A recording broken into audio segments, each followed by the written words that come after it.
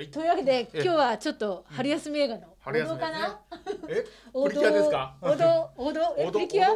いやいや アニメですもんね。はいはい。アニメですよ。はい、はい。何かっていうとはいこれ。はい。はい、猫ちゃん、うん。あのトムとジェリー仲良く喧嘩しな。これ歌えちゃう。いいのかなこれ。うんでもねやっぱりねトムとジェリー、あのー東京はどうだか知らないですけど、うん。田舎だと、うんこれをなんか夕方ぐらいの5時ぐらいに何にもやるもんがなかったらこれが必要になんかリピートされるっていう。しかもトムとジェリーってあの30分で3本立てなんですよね。そうそうそうそう。あの真ん中にちょっとなんかワーナー系のショートアニメを挟んで、トムとジェリーやるっていう。あの上と下っていうか、そうね。そそううだったね。そうそうそうそう。うん。でななんか知らないけどあの必ずなんかこの特定の作品って必ずなんかい一つなんか必ず象徴的なエピソードがあってそれがなんか何度も何度もやってるっていう印象があるじゃないですか。俺これ見るとうん。必ずなんかトムがジェリーを追っかけてる時に本当に死んじゃう回っていうのがあって、うん。あのちびまる子ちびまる子ちゃんだとあの両親が離婚するかどうかのピンチになる回だとか、G メン75だとかだとあの G メンに復讐するなんか犯罪者がなんか爆弾カメラを用意したんだけどそれがなんかいろんなところに巡り巡っちゃう話だとか。必ずなんかそういう特定の話なんだけども、んトムとジェリーだとどうしてもなんかトムが本当に死んじゃう話っていうのを印象が強いんですよありまね。したね、うんでもさもううん毎回死にかけてるよね、そうそう。毎回ねなんかこんななんかあの面白いじゃんガーンとなってぺったんこになったりさそうそう。突き落とされたりさね。ねうん挟まれたりとか、そう。あとね思い出すのがやっぱりね、うん。あのアフリカ系のメイドさん、うん。足だけ出てくる。あれと一緒ですよ、ね。やっぱり、ううん。んでそんなトムとジェリーがついになんかこの、トムとジェリーが、このなんだろうな実写映画化ではないですよね。まあ実写パートはあるんだけど、実写とこれアニメの融合。まああれですよね。ロジャーラビットみたいそなうだけ、ど、うん。うん。平面なのよ。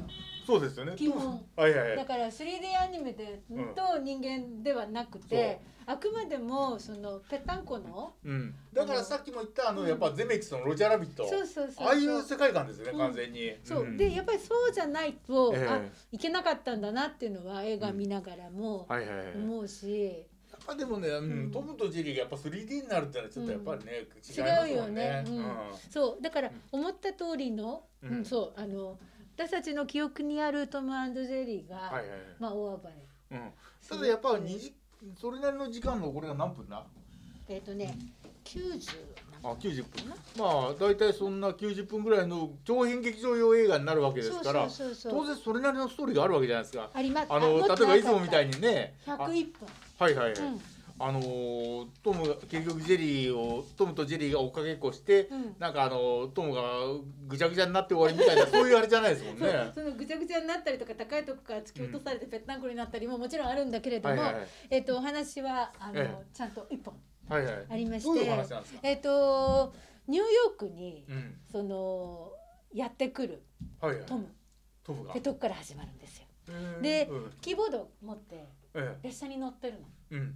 工房な感じちょっと。あ、なんかちょっとね。うん。それでニューヨークでうんその、まあなんか新しい生活を。はい。でえっ、とセントラルパークでうん。あのねトムはねピアノを弾けるんですよ。あ、はいはい。だからキーボードなんですね。そうキーボード、ででそのえっ、と盲目のミュージシャン。猫ミュージシャン、うん。はいはい。でそのいっぱいなんかこうあのチャージが来て、ええ。またすごい猫ちゃん目見えないけどうん。ピアノ弾いてる？みたいな、はいはいはい。可愛いとかって、うん。そこにジェリーが現れて。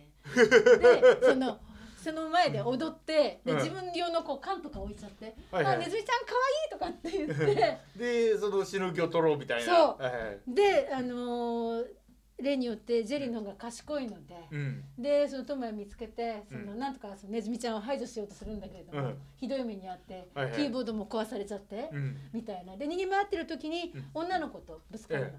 で女の子はたくさんのそのうーんと洋服っうん。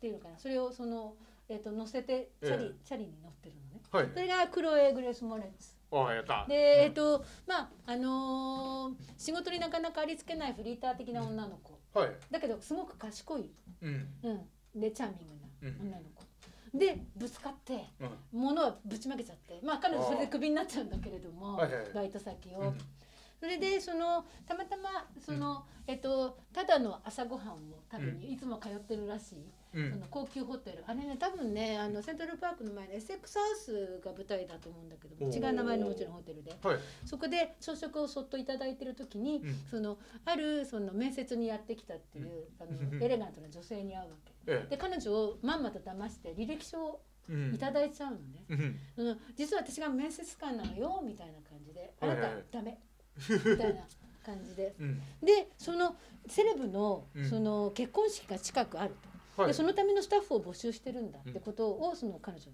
教えてもらって、でその履歴書の彼女に成り代わってうん。応募するわけ、おおでその口はすごく立つ女の子なんで、ううまいことやってうん。その仕事に就くわえけでそのセレブの結婚式のためのコーディネーターっていうかありとあらゆることをでその支配人にも気に入られて。はい。でその部下はちょっとこいつ怪しいなとかと思ってるんだけれども。うん。でで一方そのトムとジェリーもそのホテルにいろんなことがあってそっと住み着き始めるわ。ああそこでどう絡んでくるかですよね。うん。っていう話なんだ。うん。でその結婚式はちゃんとできるのか、はい。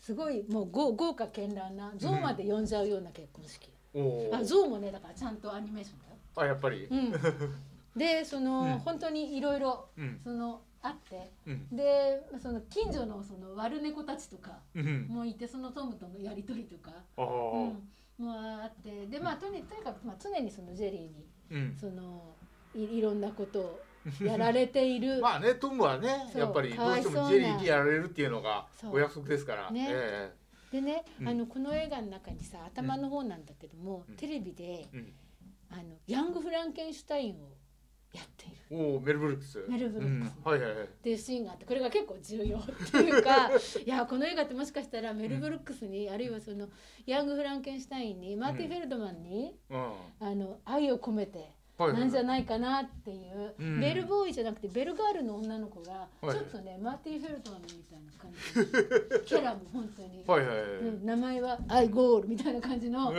あのちょっとねあのストレンジなキャラクターで、ええ。そのベルガールもすごいいい感じで絡んでうくるんだけど、うん。うん。まあでもやっぱりトムとジェリーっていうからにはやっぱりちょっとね、うん。二人のやっぱ絡みがやっぱメインになってくる。絡みがメイン、ンでもう本当に大暴れをして、うんでそこにだから、うん。うん、そのいろいろ一生懸命そのクレイのことも手伝ってくれたり、まあ二人チームを組んで、うん。そのでそのネズミ退治をしてホテルにネズミがいたら大変だから。はいはいはい、でその結婚式もちゃんと、うん。いやネズミいりますけどね、うん。あの成功できるようにはい。なんだけれども、まあ常にありとあらゆるところにジェリーが現れて物事をめちゃくちゃにするわけだ。このジェリーがねもううん完全に昭和ですよね、そう。うん。本当に悪いやつだよね、はいはいはい。うん、可愛いんでだっだけどてもうやっぱりテレビ放映中でもやっぱりみんなだってトムの方にやっぱ感情移入するでしょ、そう普通、なんかもうジェリーがあまりにもちょっと悪がらすぎて、ううん。んあのーねこの辺はちょっとやっぱり。うん、うん、そうあの本当にね、うん。春休み映画にふさわしいっていうまあだから基本は、だからクロエのドラマっていうのもあるんだろうけどうん。も、やっぱりメインはこの2つの絡みうんだから逆に言うとやっぱりいろんな層にアピールできるわけじゃないですか。そう。だからそのね本当に私たちみたいなその元祖トム・ゼリ世代も。だからね、うん。うん、トム・ジェそうだし世代でも結構広いけどもだって 本当に今の子供たちってわかんないけども、うん。大体やっぱり夕方の5時ぐらいにテレビの再放送枠っていうのがあって、うん。で大体あのまあ過去の当然テレビアニメとかやったけどもやっぱ一番多かったのはこれですよねよかったね見たね見たね。うん。私たちアメコミっていうかそのアメリカのアニメーションでそ育ってるんだよね。だからやっぱりねトムとジェリーだから正直言いますよ、うん。正直言うと、うん。あまたトムとジェリーかみたいな時期もあるわけじゃないですか。あの「タッタッタッターンタッタッタッターン」であのアニメのあのテーマが流れてくると「えー、また?」みたいな、やっぱりみたいな感じだけそうどもそういや俺たちが見たいなウルトラマンだみたいなね。そういうのもあったわけだけども、うん。やっぱでもそれもこれもいい思い出だし、うん。やっぱそういうところでやっぱトムとジェリーって染みついてる世代ですそうよね。普遍のものだと思うし、うん。でそれがこういう形でそう。でしかもそのななんていうの、今風のその 3D アニメじゃなくてペタッとした感じで、う。ん。あえてついてアニメときますっていうところがやっぱりちょっと分かってる感じですそうそう。ですよね。うん。うんあの本当にああのよくぞ帰ってきたっていうかな なんかお帰りみたいな感じもあるな。本当よく今の時期これをやろうと思いましたよね。そうね、うん、だからちょっとあの想像してなかった展開っていうかな。うん、うんね、そうかワーナーにはそうだよトムジェリーがあるんだってそうそう思ったの。うん、うん、難しいね。だからもっと他にもちょっとワーナーアニメーションのキャラクターとかもっとどんどん映画すればいいですけどね。ねそうそう、うん、こうこういう形のねだからアニメも、あありだなって思って、うん、そうだから懐かしい人もそれから、はいはい、あのそうじゃない世代も、うん。みんな楽しめる。うん。だからある意味だから俺ら世代的には本当に国民的アニメでもあったわけじゃないですか。うん。ぜひともね一回ちょっとこれでまた見て、あのいただいてもいいしだからもうこれで俺らのもう子供世代もうちょっとあれか。あのー、ちょっと新たな発見っていうか。ねトムとジェリー、キャラクターとしては当然今でも生きてるわけだから。そうそれと、うん、やっぱりすごい洗練されてるよね、うん、あの可愛いっていうか、うん、あの私絵描きとして見ても、うん、本当にこのキャラは素晴らしい、うん、うん、で、うん、その映画見てあ面白いなと思ったらあの今たくさんアニメーションとかね、うん、あの見ることできるから、うん、その過激なやつ。そうそう。すごく過激なやつとかね。ねだから俺がさっきも言ったあのトム本当に死んじゃうかいね。そうあの天国行っちゃうんだけど結局戻戻ってくるみたいな、ねやっぱりねちょっとやっぱこれはもう本当にカートゥーンとは何かっていうと、ね、そうなんかそうあのもう一回カートゥーンとその実写、うん、あのプラス実写みたいなのを見な、えー、見直してみようよみたいな、うん、そういう挑戦でもあったかもしれない。はいはいはい。うん。だからちょっとね今まで今度ころの 3D アニメとのコラボとか見てると最初は戸惑っちゃうかもしれないけども、うん、あこれこれこれが見たかったんだよ的な。だから結局今 3D アニメになっちゃうと、結局もうなんか。何でもありになっちゃうところあるじゃないですか、うん、じゃなくてやっぱこういうちょっと 2D アニメと実写みたいなちょっとちょっと違和感ある感じの方がやっぱり映画としてはやっぱ面白いですよね。そうなんだよそう、うん、だからそうあのトムジェリーがニューヨークの街を走ってるっていう、その嬉しさ。しかももうそのまま昔のカートゥーンのままでっていう。そう。うん。なのでね、あのぜひトムとジェリーに会いに来て。ください。うん、いやしいね、うん、クロエも可愛いよ。うん、もういつの間にかあんなに大人になったんだね。まあ、だってクラスからもうなんでってこともない。ねえ、なんて思いながら、えー、はい、あのマイケルペーニャも出てますよね、これ。そうだよ、あの、役者もいいし、あの、うん、うん、親子で、あるいはデートムービーで。はいはいはい。やっぱ家族連れかな。家族連れかな。うん、あの吹き替えもあるので、うん、ぜひぜひ。まあ、あのコロナであの非常事態宣言がどうなってるかわかんないですけどね、うん、またなんかこういうのってあれじゃないですか。なんか家族で見に行ってなんかその後レストランでお食事みたいな、ね、そうそうそう。それなんか一生ものでさ大人になってからも思い出したりするからね、そうそうそう、うん、そういうなんかファミリームービーですよね完全に、ね、うん、ぜひともねそうやって、はい、うん、で、まあそうじゃない人たちもまたこれね、世代によってちょっと楽しみ方が違うとは思いますけどデートムービーにもぴったりだと思います、ぜひともぜひ。はい。なわけで今日は、はい、えー、トムとジェリーを紹介しました。はい。ではまた。